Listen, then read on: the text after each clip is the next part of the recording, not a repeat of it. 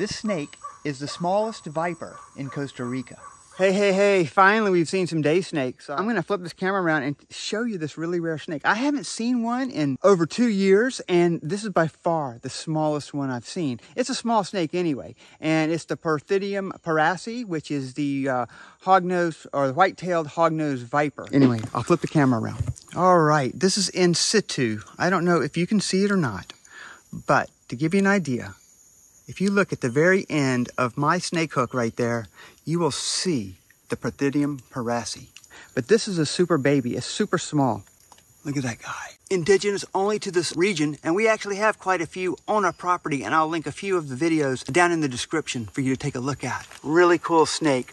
I am not going to disturb it, of course, because I hate doing that. Porthidium porrasi, one of the best snakes we've seen. This species was just described in 2003 by Louis Porras, shown here with a huge eastern diamondback rattlesnake. Literally the size of a half dollar.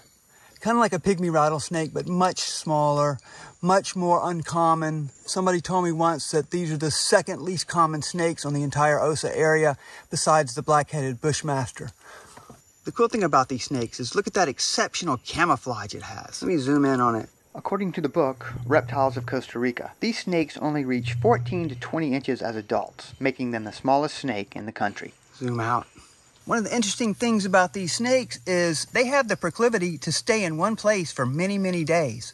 So I'm going to check on this the rest of the days of our trip and see if he's still here. Another reason I'm so excited to see this snake is that it's a young individual. We've really only seen adults. I've seen one other one that was a little bit bigger than this. But if you look closely, you can see that upturned snout, maybe right there. Look at that guy. Beautiful, beautiful snake.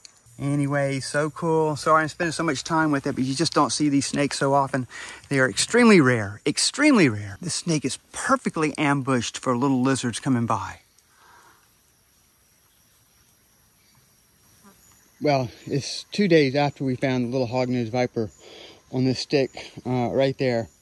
I came up here yesterday to work on some cameras and this has all been disturbed right in here because we had a ton of rain and maybe something like a tamandu or something came by. So this morning I'm up here doing one last look for it and I found that little sucker. Again, it is so tiny.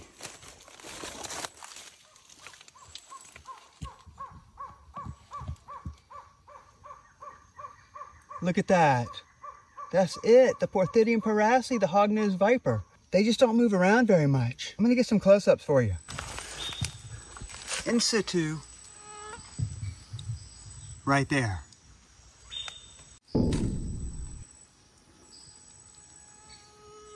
I'm really excited to see this snake because we've had a very few snakes on this trip for whatever reason. Anyway, I guess we need to get on the road. We've accomplished the task for this hike this morning, which was to find this snake again. Check out that centipede and its mate crawling by. This is a much better place for this snake during the heavy rains. And you can see an idea for scale, maybe, maybe, how tiny this snake is. It'll get to be about a foot and a half long eventually. If you learned anything new in this snake video, I'd appreciate it if you hit the like button for us, and that helps grow our channel. Thanks. Can't get any closer than this to Porthidium porrasi. Super rare snake here. Glad I found it again. So cool. Really cool.